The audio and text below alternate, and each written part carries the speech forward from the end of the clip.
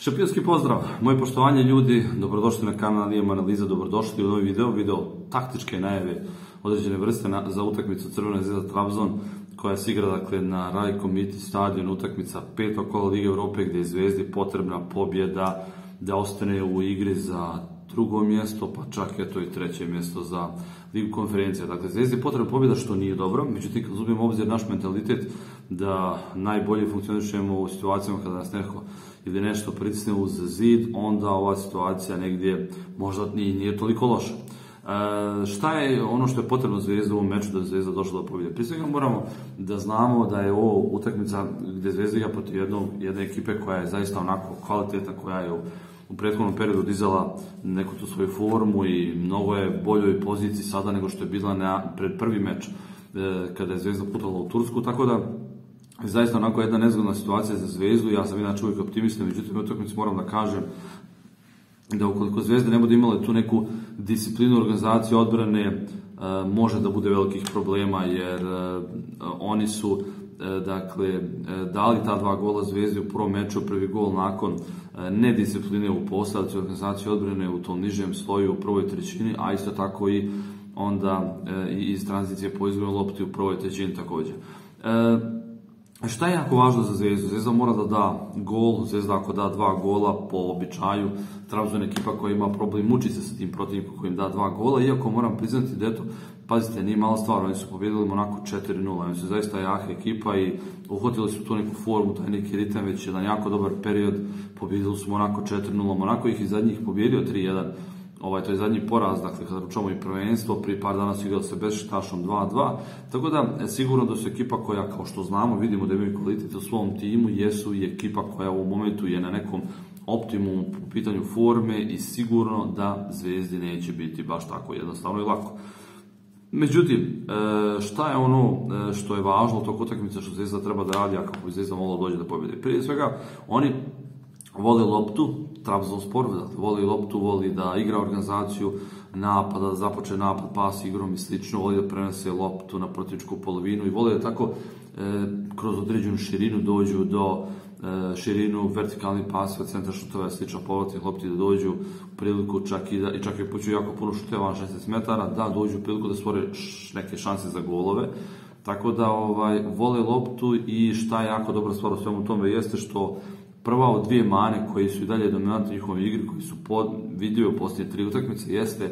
dakle, prva od te dvije mane jeste dakle, tranzicija po izgubljenoj lopti. Oni kad izgubi loptu dalje imaju veliki problema, e, prije svega sa angažmanom, sa aktivnošću, dosta su blagi, dakle, prema protivniku. Prije svega, najveći problem je ta neaktivnost,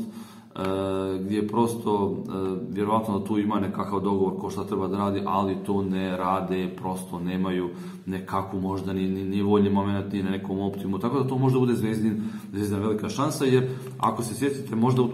od taktičke utakmice na Ferenc Varoš Zvezda 2-1 video u kome poslije utakmice kada Zvezda izgubila od Ferenc Varoša ja ono što sam možda najviše zamirio Miloviću jeste što je prije svega Zvezda u toj tranziciji po osvojenoj lopti, dakle išla prije svega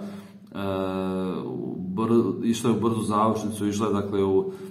brzo je pravila te vertikalne pasove, što po meni nije dobro jer je Ferencvaroš ekipa koja nakon što idete u zadržavanje posjeda pa kroz organizacije napada u nižem ritmu e, možete lakše doći do, do njihovog gola. Ovaj put protiv Trabzona treba skroz obrnuto. Dakle, Trabzonspor ima problem s ekipama koje u tranziciju ne idu na zadržavanje posjed, nego idu direkt dakle, u brz kontranapad, iako i s obzirom to Zvezda radila jako dobro i na taj način dala gol Ferenc Farošu i na taj način stvorila nekoliko dobrih šansi u Mađarskoj. Zvezda čak i da bude to nekom optimu u Mađarskoj može da ima više šute u okviru gola protiv Trabzona i to je dobra stvar, to je možda najbolja stvar i najsvjetlija ovaj, najsvjetliji neki primjer ili nada, tako kažem, da Trabzon može se pobjedi. Inače, Trabzon nije nimalo jednostavna ekipa, nije nimalo naivna ekipa, ekipa koja ima svoje prednosti i sigurno će biti jako teško je pobijediti. Pazite, ekipa koja pobjedi Monaka 4-0, ne možete reći da nije dobra ekipa, apsolutno je dobra, jako dobra ekipa, ali opet ima neke svoje mane. E, šta je ono što je jako važno, na primjer, e, druga stvar koju ću napomenuti ovdje, kad je pitanje njihova, kao njihova mana, jeste da oni u organizaciji odbrane u tom e, srednjem sloju, e, pa eto i nižem, u nižem ritmu također. Imaju problema s ekipom, s igračima koji su vješti, koji imaju određenu vještinu, dakle, s igračima koji su, dakle, loše se brani pojedinačno. I to je nešto što, na primjer, je izostalo u Zvezdanoj organizaciji igrao prvo meč protiv njih, ovdje na domaćem terenu sigurno da bi moglo Zvezda na taj način da također dođe priliku da stvori određeni broj šansi, naročito nakon centra šuteva,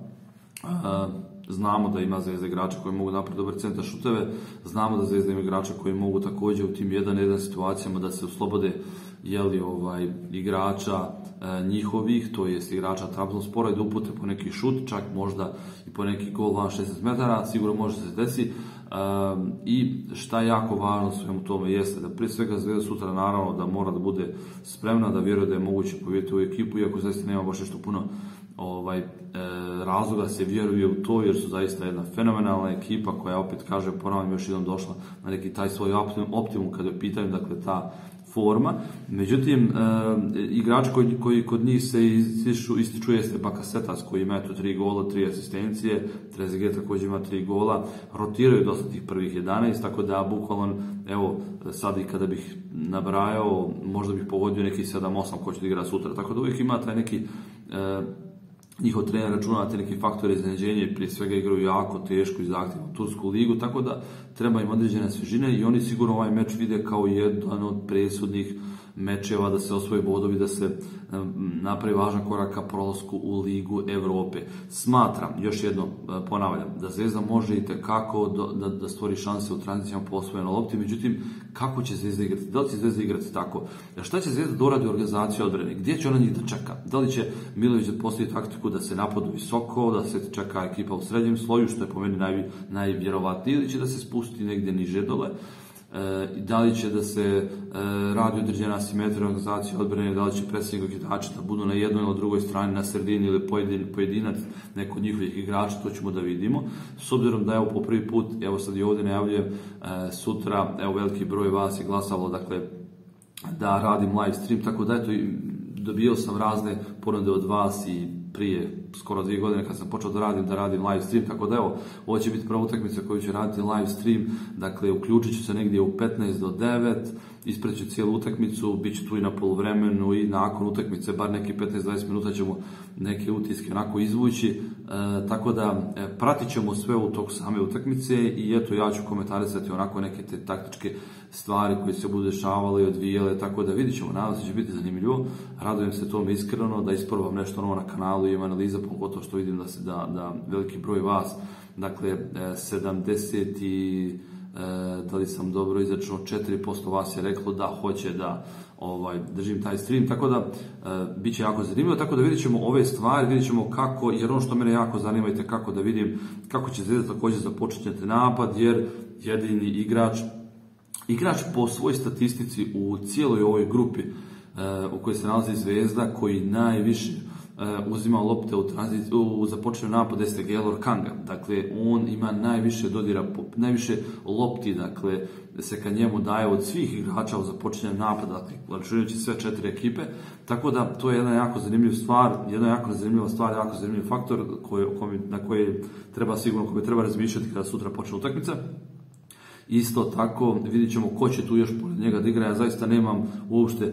mislim da će ovdje biti jako teško i pogoditi neki način ko bi mogao da počne, ali dobro opet negdje očekujem da može da igra e, da može da počne i Bukari, tako da vidjet ćemo. To je također jedna jako zanimljiva stvar, vjerujem da će igrati Bukari opet. Da li će igrati Kings Kangva, čini mi se da ima neku povredu ili nešto tako, vidjet ćemo. Uglavnom,